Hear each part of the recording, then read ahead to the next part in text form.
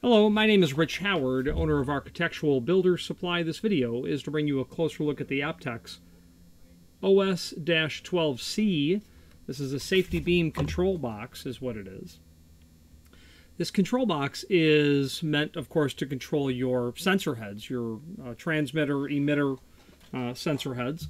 And this Optex system is meant to be the safety beam that will occur within the jamb space of you know any automatic door really. Sliding automatic doors obviously. Swinging would work as well. Um, and this is the replacement control box. It's incomplete. It does not have its uh, its beam package with it. You can order those. That would be a os-12 i'll pull up that part number when we switch to the screen view. Uh, but first let's take a look at the dimensional properties of this item just to put a scale to it about 3 and 5 eighths overall length, overall depth about inch and 3 quarter, overall height about an inch and 5 eighths. Okay, so this is used in automatic door work, and the balance of the extended description really talks about how to set this. It's very, as as much um, as many different products that as exist that exist in the automatic door world. They're all pretty easy to set, and this Optex unit is no difference.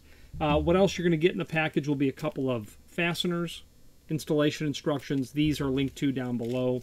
Let's now switch to the screen view and talk a little bit more about this as you can look at um, the uh, resources that we have as well at the same time. If you are enjoying this video, please click thumbs up or like, and also please consider subscribing to our channel. Let's move on to the rest of the video. Here is the item that we are looking at. Let's take a look at some images that we have posted here as well. That's the box. That's the contents of the box. The control box itself.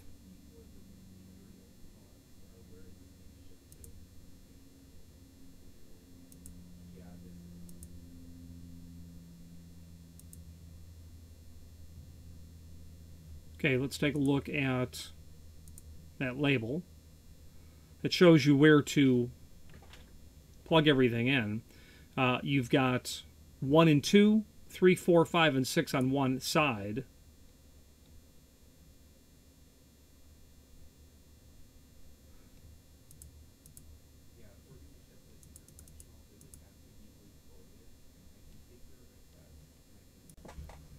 Okay, here are those six terminals, two, one, two, three, four, five, and 6 um, power, safety, and test. And then your beams will go on the other side 7, 8, 9, 10, 11, 12, 13, and 14.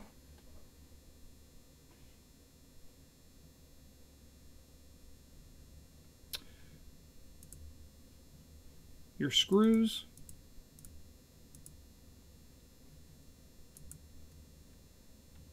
Then let's flip that around.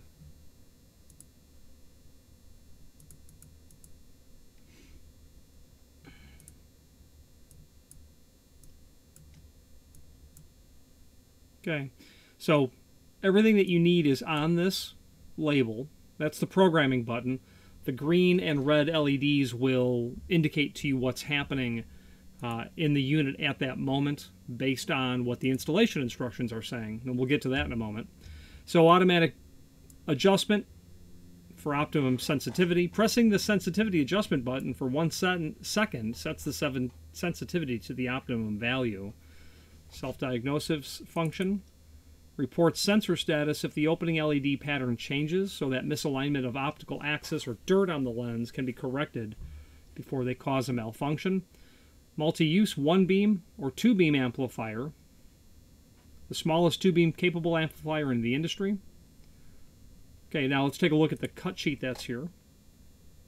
This will give an overview of the electrical characteristics or profile of the unit. I won't bother to read that to you, but suffice it to say 12 to 24 VAC, 12 to 30 VDC, 160 milliamps max is what will uh, that will handle.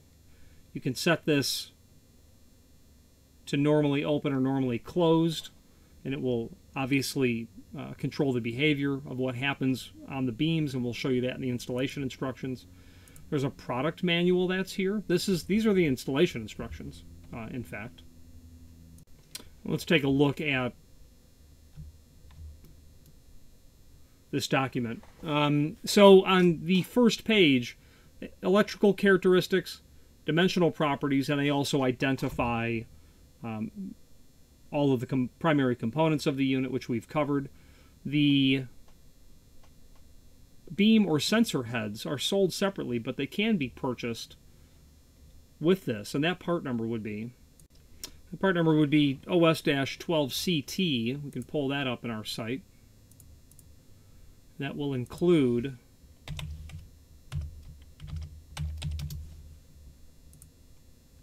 uh, let's take a look.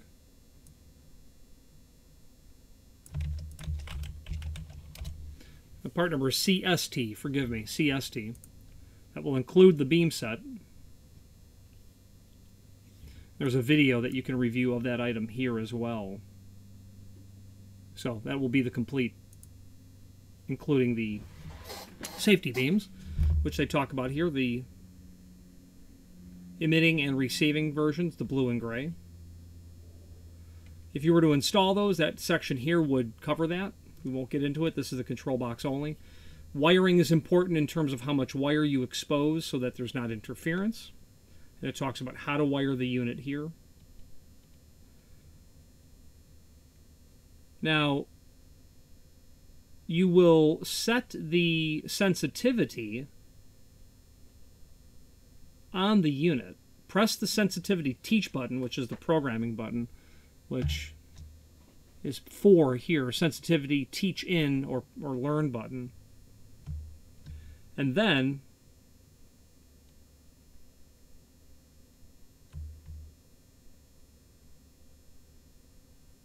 when you have a um, solid green and red. The sensitivity has been set correctly. The adjustment is completed. And you'll enter that mode by pressing that button for more than one second. You're going to have a solid green on when it's been set correctly. The adjustment is completed. If you have alternate blinking, um, you'll need to go through the steps to reset the uh, resetup of the sensitivity that is detailed here in this box. Checking the operation. Um, the normally open or normally closed, you're going to be able to set that um, accordingly. This table here talks about the the condition of the doors. So in this normally open, when power is off, the doors are closed when you have it set to normally open. Standby status, no person or object exists between the sensor head. The door is going to be open in that instance when you have it set to normally open. Okay. So normally open may not be, you know, the condition at which you want this to um, exist in because when a person is passing through the beams, those doors would be closed in that same scenario, but in a normally closed setting, those doors would be open. So I would think normally closed is what you're going to want to have. Now there is a more current version of the installation instructions that have shipped with the document. So let's switch, uh, with the hardware, let's switch and take a look at those. And here is that installation instructions, we have a 2008 version and a 2016 version. The 16 version is a little clearer in terms of what the normally open and normally closed will look like um, in your document, uh, in your setting. This is a uh, OCR uh, character error here. This should be showing uh, power failing uh, with the door open.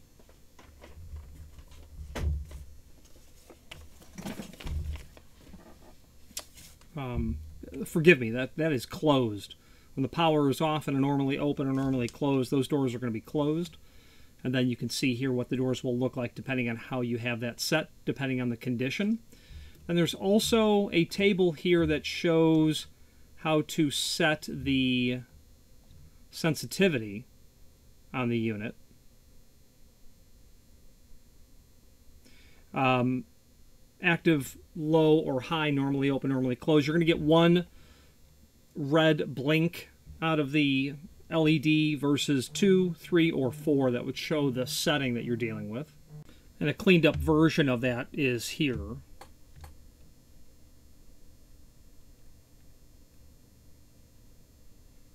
Okay, showing those conditions, and then of course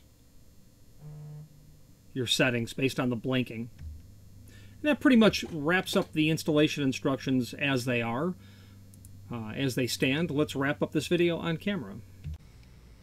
If you are enjoying this video, please click thumbs up or like, and also please consider subscribing to our channel. Let's move on to the rest of the video. So this is definitely a modern design of sensor in the sense that, in the sense that it will report back to the controller that it's operating correctly on every single cycle, which is a relatively new uh, requirement uh, for sensors, whether it be a jamb sensor like the Optex OS12C, 12CST, or overhead sensors, you know, what are, or um, curtain sensors, whatever it might be. They're all communicating back to the controller saying, "Yep, I'm still good," um, and that's a way to have better control and management over the opening, bringing to someone's attention earlier rather than later that there's a problem with a sensor, which is a common item to have to have replaced. The client purchasing this sensor is evidence of that. Uh, if you have any questions on the Optex, this is their part number OS-12C, safety beam control box only, or any other Optex product, please feel free to reach out to us. And thank you very much.